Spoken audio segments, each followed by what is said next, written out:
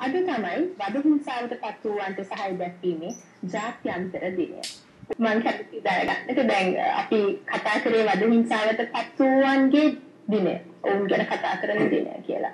ඒ මේ වගේ දවසක් ලෝකේ විශේෂයෙන්ම සම්මත කරගෙන තියෙන්නේ. ඔව්.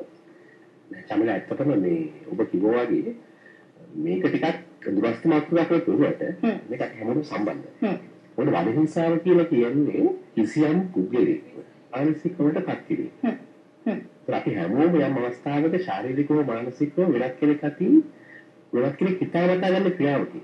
වේදනාවකට පත් වෙලා තියෙනවා. ඊළඟට අපි ඇතුලේ තියෙන ක්‍රියාව සමහරවිට වෙලා තියෙනවා. ඒතකොට මේක පළල් දෙයක්. දැන් මේ වද හිංසාවට ලක් වෙන කට්ටිය අපි කියන වින්දිතයන් කියන වචනේ පාවිච්චි කරනවා වික්ටිම්ස් කියන වචනේ ඉංග්‍රීසියෙන්. ඒ වින්දිතයන්ට සහාය කලකිරීම. මොකද ලෝකෙ ගුණාම ගොඩක් වෙලාවට රාජ්‍යීය ක්‍රියාකාරකම් නිසා හෝ රජයේ නෝනායි ක්‍රියාකාරකම් නිසා විපතකටපත් වෙච්ච වින්දිතයෝ ඉන්නවා. ඒ අයට සහාය දෙන්න අවශ්‍යයි කියන මතයක් ආවා. ඒක ජාතක ප්‍රතිඥා ප්‍රකාශ කරලා තියෙන්නේ මේකට කතා කරන්නේ. මේ ගැන මහජන දැනුවත් කරන්නේ. සා මේ වගේ දේවල් වීම වළක්වන්න මහජන මතයක් ඇති කරන්නේ. හොඳයි.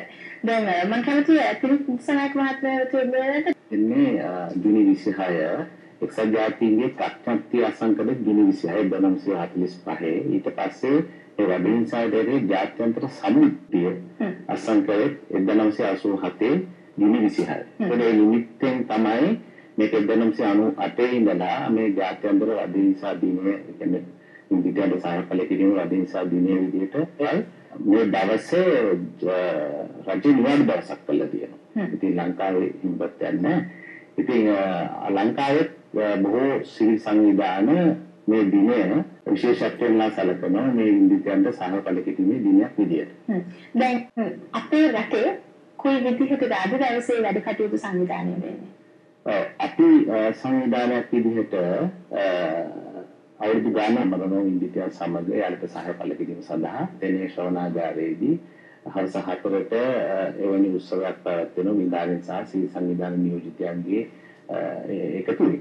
එතකොට ඒ වගේම තවත් සංවිධාන ගණනාවක් අද දවසේ නුවර සෙටික් මානික මායතනේ සහ තවත් සංවිධාන කීපයක් අද දවසේ එවැනි උත්සව සම සැලසුම් කියන බවට අපිට දැනුම් දීලා තියෙනවා. හොඳයි නිතිතුස්මන් මම දැනගන්නට කැමතියි දැන් අපි මේක අහලා තියෙනවා වද හිංසාවට පත්සක් ඉන්නවා කියලා.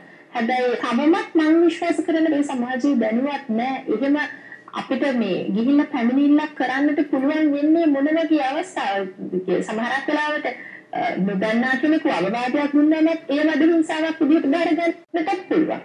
අපේ එහෙම කොටාශයකුත් තියෙනවා. ඒ නිසා අපි පොඩ්ඩක් පැහැදිලි කරමු මොන වගේ අවස්ථාවක් වෙනුවෙන්ද පන්දිල්ලක් ලබා ගන්නට පුළුවන් කියලා.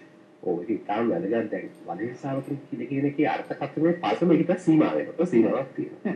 ඒක ලංකාව සම්බන්ධයෙන් ගත්තම ලංකාව වදහිංසාව වරදක් කියලා පිළිගත්ත රටක්. ඒ කියන්නේ ලෝක ශිෂ්ට සම්පන්න ප්‍රමුඛය තමයි වදහිංසා කළා. ඒකයි මේ ශාරීරිකව මානසිකව පීඩාවටපත් කළ පසුසුබන්න බෑ. සාකච්ඡාවක සම්මුතිය පසුසුබන්න ඕනේ. ඒක මුලට වෙන්න පුළුවන් පාසලක වෙන්න පුළුවන් මේ නීති අසාවට ලක් නෙවෙයි වෙනසාවට හෝ කූර අමානුෂික හෝ අවමාන සහගත සැලකිල්ලකට ලක් නොකළ යුතුයි කියන එක මූලික අයිතිවාසිකමක් වශයෙන් තියෙනවා. ඒ කියන්නේ අපේ ආණ්ඩුව ව්‍යවස්ථාව ඉහළම නීතිය. නීතිය කියලා තියෙනවා. මේක තමයි. ඒතර කෙනෙකුගේ මේ අයිතිවාසිකම කඩවෝතින් රජයේ ක්‍රියාවක් රජයේ නිලධාරියෙක් වෙන්න පුළුවන්. අපිට පාසලක වෙන්න පුළුවන්. පොලිසියෙන් වෙන්න පුළුවන්. උගත් ආයතනයක. රජයේ ප්‍රධාන වකීල තියෙන්නේ. ඒක විදිහට මූලික අයිතිවාසිකම් ලැබුවක් ගන්න පුළුවන් කරන්නේ.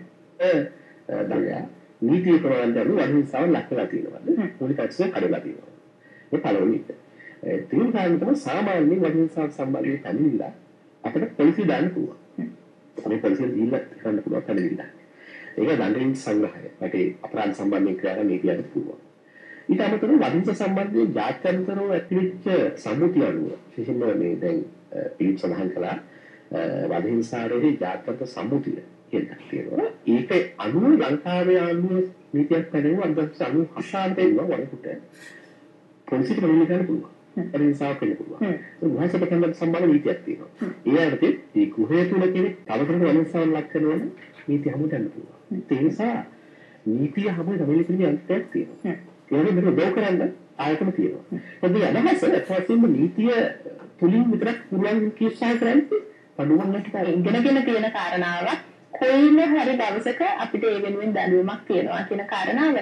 මේ කෙසේ වෙතත් අපි සූදානම් මේ කාරණාව සම්බන්ධයෙන් දිගින් දිගටම කතා කරන්නට හැබැයි සාවත මේ මම කැමති දැනගන්නට දැන් මේ සම්බන්ධයෙන් මොන වගේ දැනුවත් කිරීමේ වැඩසටහන් රට පුරා ව්‍යාප්ත වෙලා තියෙන්නේ?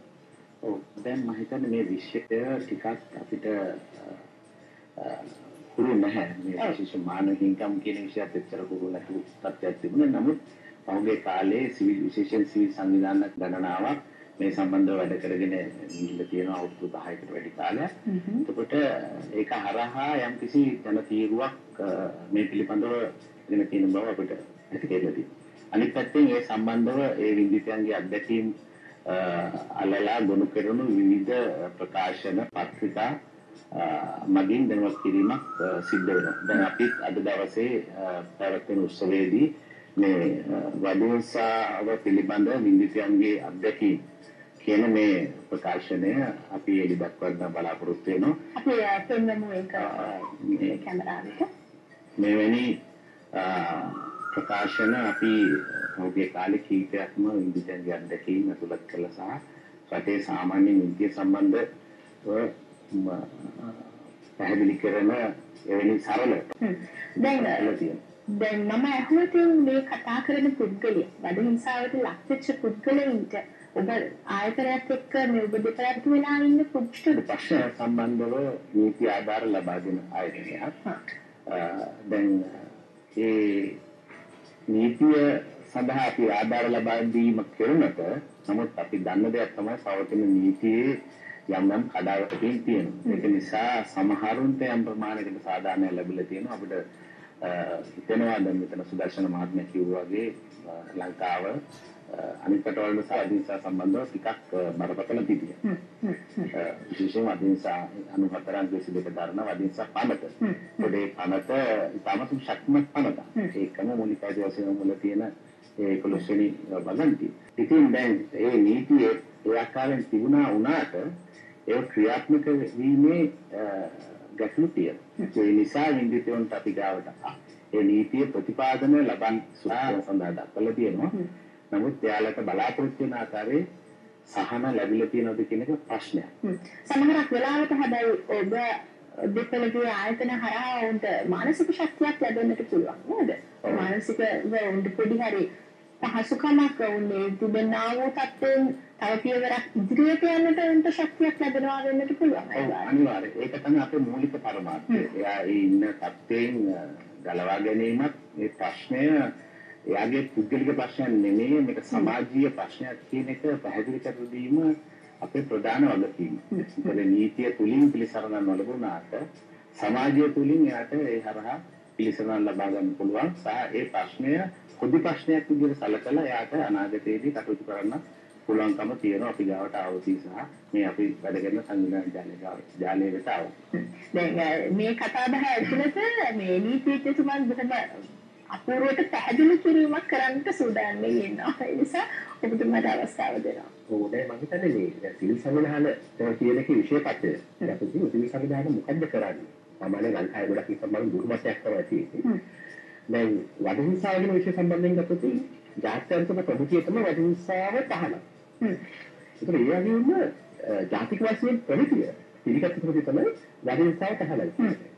ඒකට රාජ්‍ය වදහිංසාව තහනම් කරාම වදහිංසාව රාජ්‍ය විසින් කරන්නේ රාජ්‍ය විසින් රාජ්‍ය යම් නිලධාරියෙක් කරනවා නම් ඒක රාජ්‍ය ප්‍රතිපත්තියට පටහැනි රාජ්‍ය විසින් දඩුවම් කරනවා.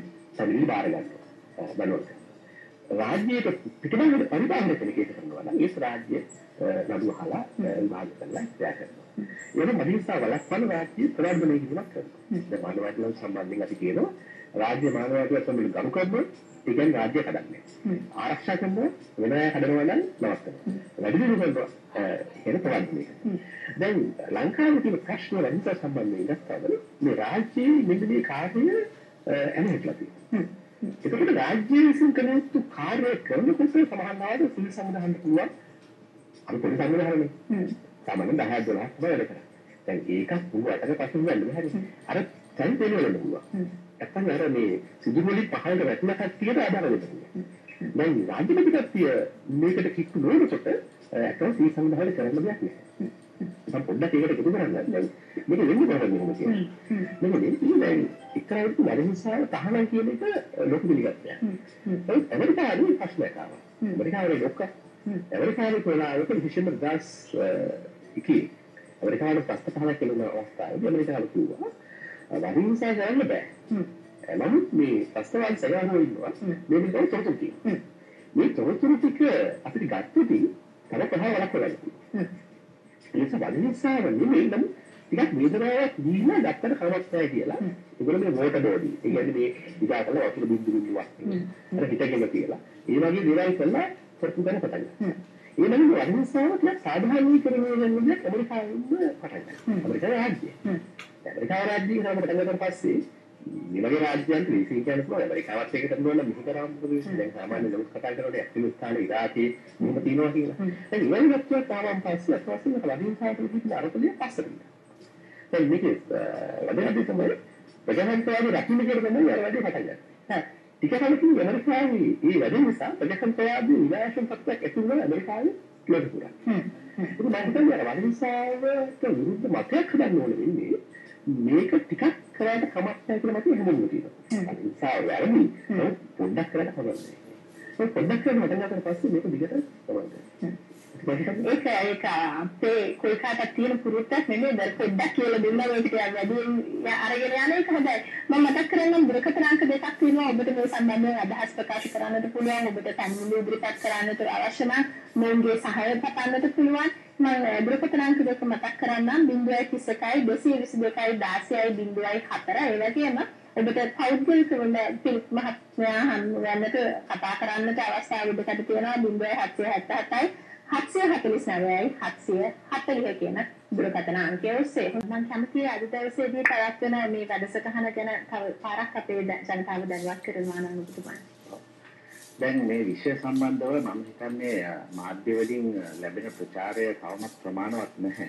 ඉතින් අපි උත්සාහ කරගෙන ඉන්නවා විකල්ප මාධ්‍ය මේ සඳහා භාවිතා කරන්නත් තියෙන මාධ්‍ය තුළ මේ පිළිබඳව වැඩි තව තවදුරටත් උනන්දු වැඩි කරන්න. ඉතින් අද අපි මේ මානවිකම් සම්බන්ධව පමණක් තොරතුරු ඇතුළත් වෙන විකල්ප වෙබ් අඩවියක් it.lk www.it.lk කියන වෙබ් අඩවිය අද මුදාහරින්න බලාපොරොත්තු වෙනවා මේ උත්සවයේ අවස්ථාවේදීම.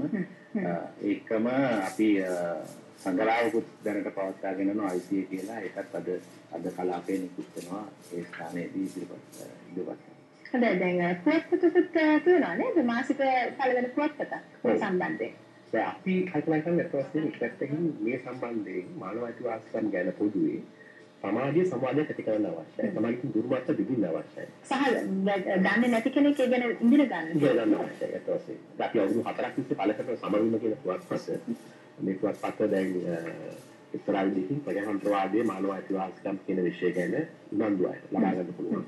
මාසිකව පළ කරන්නේ. අපේ වෙබ් අඩවිය www.samabima.com ඒක යටතේ මේක ලබා ගන්න ලියා පදිංචි වෙන්න පුළුවන්. එහෙම නැත්නම් අපිට සමබිම ආයතන කතා කරලා 077 109යි 79 10 කියන අංකයට කතා කරලා සම්බන්ධ වෙන්න පුළුවන්. ඉතින් අපි උත්සාහ කරන්නේ එක්තරා විදිහකින් සමාජයේ සාකච්ඡාවක් ඇති කරන්න මොකද්ද වදේ ඒ වගේම ඊට වඩා මානව අයිතිවාසිකම් කියන්නේ මොනවද? ඇයි මහජනයා ඒක දැනුවත් යුත්තේ ඒකට බාධා මොනවද කියලා. ඉතින් මම හිතන්නේ ඒ වගේ විවිධ මාධ්‍ය හරහා මේක සාකච්ඡාවක් ඇති කිරීම තුළ මහජනයා තුළ තමයි අයිතිවාසිකම් ගැන උනන්දුවක් ඇති කිරීම තමයි බලාපොරොත්තු වෙන්නේ. නිවසක් තුළ ජීවත් වෙන රසාවක් කරන්නේ නැති කෙනෙක් හිතනවා නම් අපි මේ ගැන දැනුවත් වෙන්න ඕනේ නැහැ කියලා එතනත් පුංචි වැරද්දක් තියෙනවා. අපි හැමෝම තනි තනිවම දැනගන්නට ඕනේ මානව අයිතිවාසිකම් කියන්නේ මොනවද කියලා. එතකොට කවදා හරි දවසක සමාජයේ ඔබට රාජකාරිය කරන්නට සහ අනිකුත් පිරිසක් සමග ගැටෙන්නට අවස්ථාවක් ලැබුණ කල ඔබට අවබෝධ කරගන්නට පුළුවන් යම් කිසි ප්‍රශ්නයක් ඇති වෙනවා නම් ඒකට ලැබිය යුතු හොඳම විසඳුම කුමක්ද කියලා.